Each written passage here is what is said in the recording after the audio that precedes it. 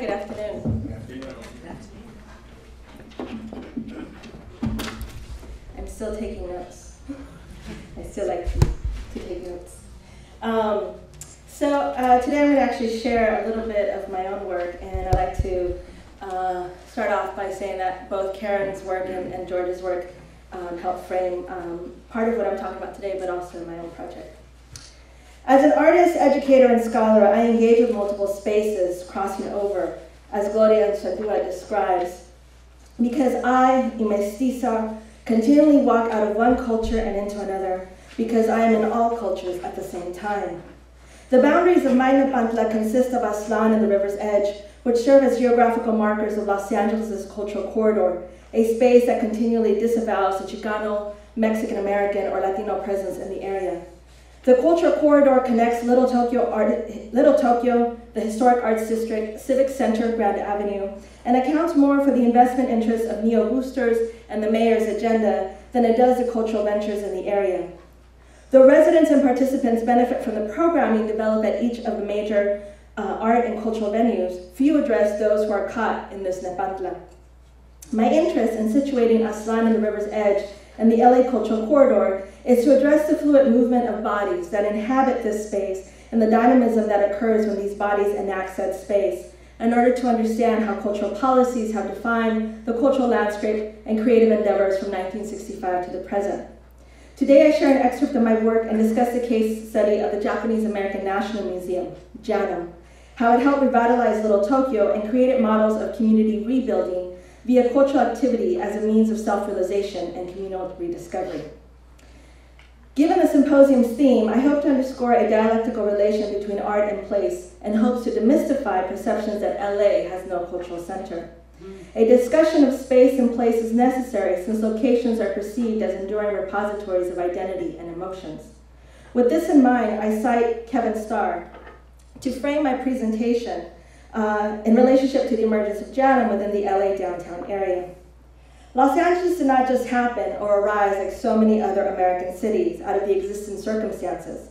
Los Angeles envisioned itself, then externalized that vision through sheer force of will, springing from a platonic conception of self, the great Gatsby of American cities. Starr speaks to how boosterism promoted the region by highlighting the quality of life to its local constituents and the nation, and the opportunities to make one's mark in this imagined, pristine landscape. Since the city's founding, Los Angeles' boosters jockeyed politicians to create a cultured city in the same vein as New York. Though early boosters like Harrison Gray Otis and Harry Chandler did have a stronghold on the city's political arena, much of the city's cultural vision had yet to be realized. In the 1960s, the city emerged out of its cultural provincialism with the building of two key art institutions, the Music Center in 1964 and the Los Angeles County Museum of Art in 1965. And in this image, you see also Disney Hall there, uh, which came about in this, in this century. While each side had, had their own sort of beginnings and challenges, and challenges to stay afloat, a common factor to their establishment was the financial backing from influential supporters in the arts among Los Angeles boosters. Sarah Schrank's study, Art in the City, mediates a discussion of class and, and culture operating hand in hand, exposing a systematic erasure of other cultural endeavors already existing in the area. Cultural endeavors that may be considered folk or ethnic. To illustrate this erasure, I include here Mike Davis's Archipelago, published in the seminal text City of Quartz. In Davis's mapping of prominent institutions in the area, he omits the cultural spaces which are pivotal, pivotal and the sustainability of neighborhoods, including but not limited to Self-Help Graphics, Plaza La Raza, St. Elmo Village, Watts, Arts, Watts Towers Art Center, um, Visual Communications, Beyond Baroque, and Spark. And as a side note, many of the artists were already collaborating between these institutions since the 1970s, but that's a story yet to be written, so if anyone wants to collaborate, let's do it. Uh, George Lipsitz's concept of the poetics of place provides a framework to analyze the interconnectedness of place and cultural production, operating as a prism by which to view the dynamics of art that emanate from economically and socially deprived regions. Attuned to the spatial, historical, and sociological factors that contributed to a region's depletion of economic resources, Lipsitz calls for a criticism that understands and analyzes the conditions of production. His aim is not to introduce another theory for interpreting culture, as he says, rather to elucidate, quote, a better theorized understanding of social relations by under understanding the interplay of art, culture, and commerce within them.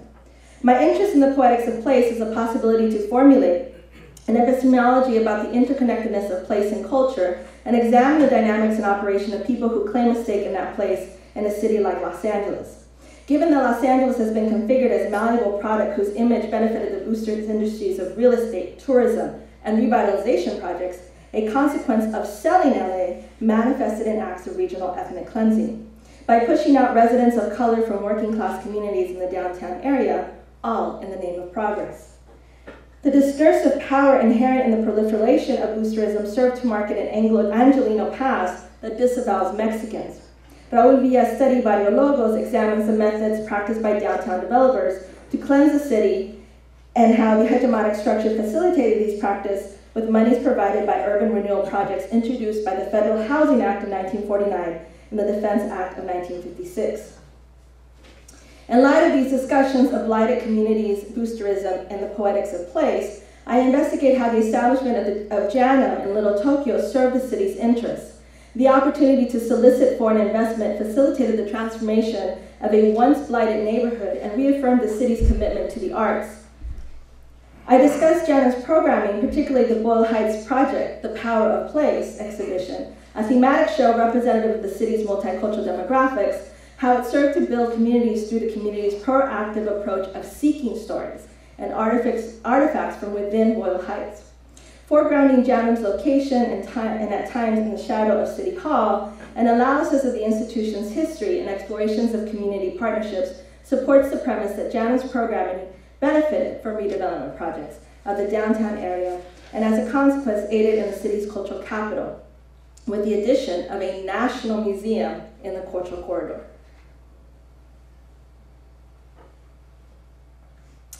Upon seeing the exhibition, Japanese American Soldier at the Los Angeles County Museum of Natural History, businessmen as well as veterans began to dream of a museum that would tell their story. First plans to build a museum were led by Bruce T. Kaji, a businessman involved with the Little Tokyo Commerce Association, who wanted to include a museum in one of the residential complexes being built in Little Tokyo. The veterans had, who had sponsored an exhibition about the 101st and the 442nd Infantries were looking for a permanent home to house their show. Korean American Colonel Young Ok Kim and Japanese American Y.B. Mamiya approached Kaji and together explored options with the city and California legislature to open a museum. Thus, in 1985, JANM officially incorporated. Now, part of what's happening in this redevelopment, they also solicit funding from the CRA, which is a community redevelopment agency, and so the CRA was already invested in this area south of, um, south of Los Angeles. Um, and part of this redevelopment included the restoration of iconic structures like the Nishi Hongwanji Buddhist Temple, uh, which was actually owned by the city but managed by the CRA. And so they secured a lease of a dollar a year for this space. The temple, constructed in 1925, the temple, constructed in 1925, served as a community gathering place, as well as housed personal belongings of people interned in the camps. Since the building had been in disrepair and was scheduled for demolition, JANM raised 10.2 million to repair and restore the historic structure. And due to the 1990 Northridge earthquake, it further delayed plans for the opening because the structure needed to be retrofitted. In 1992, JANM opened its doors at the renovated temple, presenting exhibitions there until 1999. However, without the participation of community members, key individuals working nationally and a volunteer uh, core, all striving towards the common goal of opening the museum, it could not have sustained expansion efforts. Some successful initiatives included the designation of the entire block uh, as a National Historic Landmark in 1995. And when this happened, it helped JANM submit their proposal to the CRA to then build the expansion of the pavilion, which is the structure we see today, an 85,000 square foot building um, that currently houses their permanent exhibition, Common Ground, and all their uh, current uh, uh, temporary exhibitions.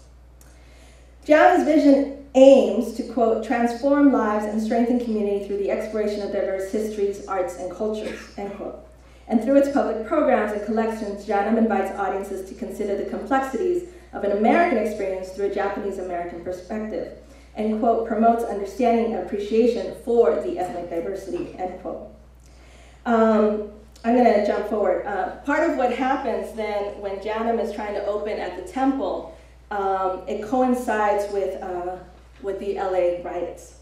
Uh, so they couldn't have their opening as scheduled on April 30th, 1992. And I speculate that this is what challenged the museum to really rethink its mission. Los Angeles was burning again because the city's denizens were up in arms about the court's decision to acquit four LA police officers in the case of Rodney King. Then Governor Pete Wilson deployed the National Guard, as you see here in this image, to assist the LAPD in the areas affected by the looting and rioting on April 29, 1992. And the city was forever changed. So opening 10 days later, JANM soon developed educational programs that, quote, promoted human understanding, end quote, meaning its call to be a conscious dialogical space.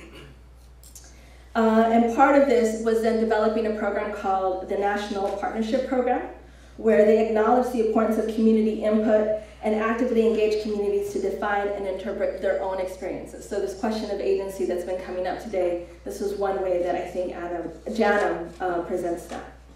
Uh, and the success of the National Partnership Program allowed it to, allowed it to uh, then create different exhibition models, and the one that I will focus on today is Boyle Heights. Firmly rooted in a sense of place, the Boyle Heights project aimed to catalyze a broad range of participants to extend themselves across borders of various making.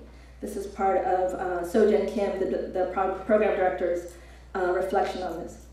Quote, including the physical barriers of the LA River, the socially politically constructed divides of race and ethnicity, the gaps separating generational experiences, and the different positions from which academic histories and public memory are generated. So from the planning stages, the project was intended to be a multi-ethnic and collaborative approach to documenting a Los Angeles neighborhood. And so how they did this was having collection days and conducting research, um, and part of the community project uh, was also supported by several institutions in Boyle Heights. Um, in several of the grant proposals, though, Molly Wilson Murphy's story illustrated best the premise of the project. The biggest day for the Boyle Heights project was a great success given the enthusiastic interest by alumni at Roosevelt High School, uh, particularly the class of 1944, in which one of their uh, members, Bud Weber, mailed letters inviting classmates to bring their personal artifacts memorabilia, and photographs for this event.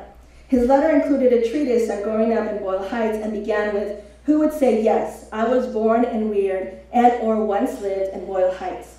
JANM organized three collection days at Roosevelt High School to share those memories. And so what I include here is an excerpt of her letter to uh, Bud Weber.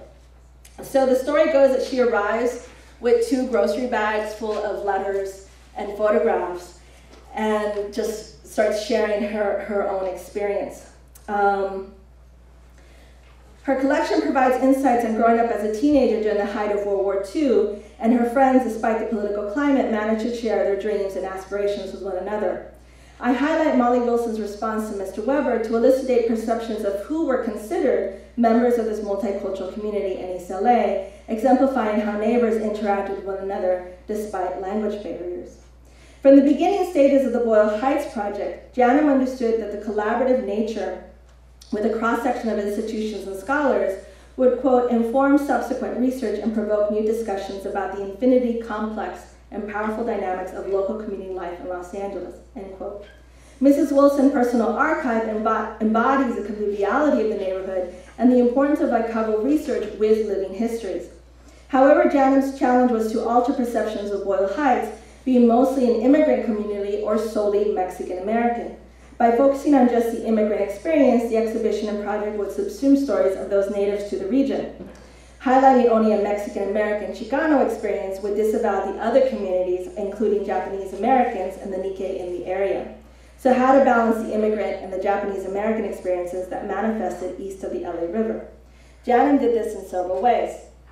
So this is um, one way that they did this was actually having the glassine envelopes uh, put along the wall.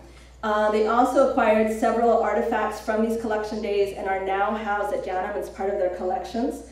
Um, and so part of, I highlight here the, the glassine envelopes because the intent was that people could bring non-organic um, materials, ephemera, and add it to the exhibition, so it's kind of this ongoing story. However, because as you notice, the placement, some are too high.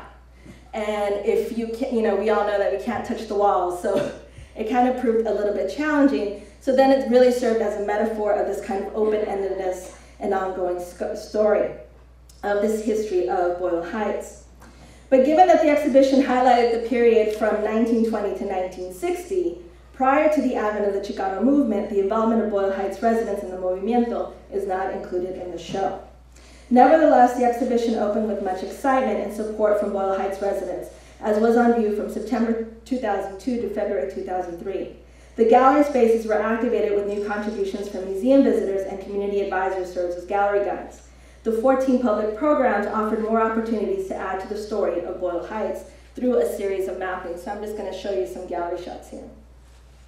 The Boyle Heights project followed the Model Museum's National Partnership Program of working with various community partners, and their voice is at the forefront of the exhibitions. The selling point to funding organizations was that the project was that the project presented the history of Los Angeles' first multicultural neighborhood and subsequent changes in the neighborhood through multiple perspectives for residents who lived in the area. And I'm actually going to end here with um, something about the museum. Through the Boyle Heights project, JANM negotiated the fissures, fissures and expectations of the Japanese American constituency, and in so doing also produced a Chicano exhibition, an LA show. The project serves as a model of the types of exhibitions that should be produced at any museum in Los Angeles or metropolis that is as diverse. The Boyle Heights project reflects the museum's commitment to, quote, build bridges among ethnic and cultural groups for the future, end quote. And Irene Hirano, JANM CEO and president, would further reflect that the gathering of personal stories will put the National Museum as an institution that, quote, embodies an intensely personal experience of historical events, end quote. And this is the challenge for future curators who want to produce exhibitions that present comparative multicultural experiences at what points do our collective stories, experiences intersect, and, the, and where are the points of departure that reveal LA stories, not solely from a monocultural point of view, but that act, but by those who actively, uh, but, but by those who activate the space and places. Thank you.